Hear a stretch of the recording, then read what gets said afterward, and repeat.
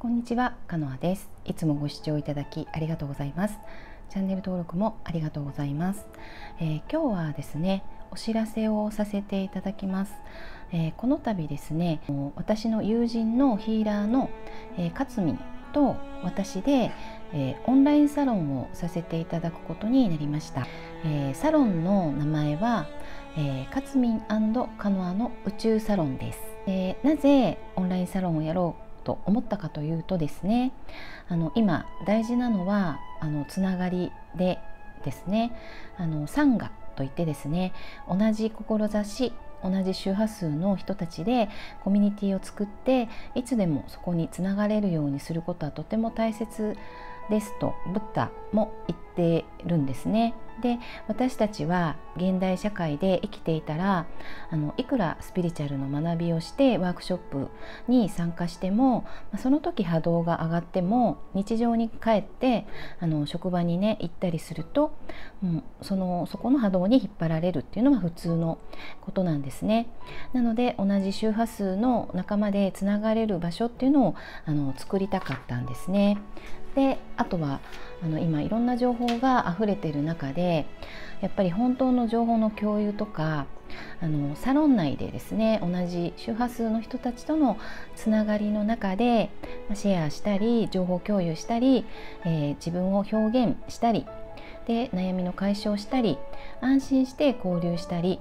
えー、そこで学んだりできる場にしたいなっていうふうに思っています。好きな時に自由につながれるアットホームな居場所、えー、つながる場所を作りたいと思ってかつみんと私で作りました。えー、参加してくださる、えー、皆様と共に私たちも楽しみた楽しみたいと思っています。ぜひピンと来られた方はご参加お待ちしています。えー、詳しくは概要欄に貼ってますので、え見ていただけると嬉しいです。え自分を愛することって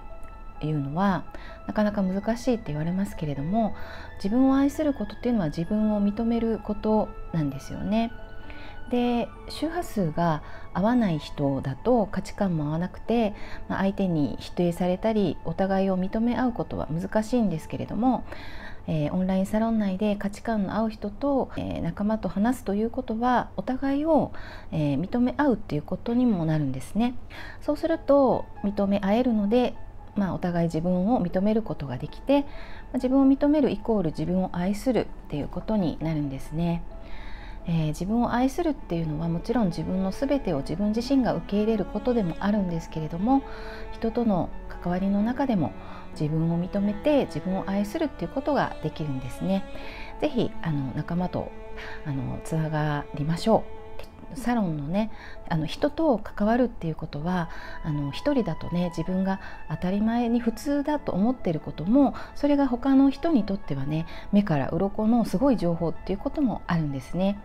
なので一人一人の持ってる英知とかね知識がそこのサロンでつながることでみんなの共有財産になってみんなの知恵となってより人生をよりよく生きるヒントになると思うんですね。なのでぜひご興味のある方は概要欄を見ていただけると嬉しいです。え提供コンテンツについてですけれどもあの詳しくは概要欄に書いてますけれども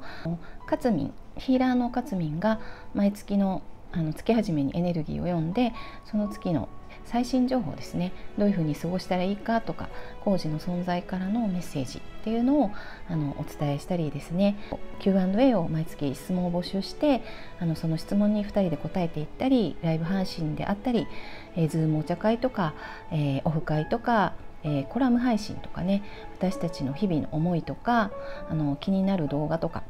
あの行ってよかったお店とかね神社とかいろんなあのつぶやきみたいなのも、えー、やっていけたらなと思いますし、えー、毎月1回ですね私の、えマニアック宇宙学講座っていうのもあの動画配信させていただきますので続きであの一からずっと見れるようにしていきますので是非ピントを来られた方はご参加お待ちしています、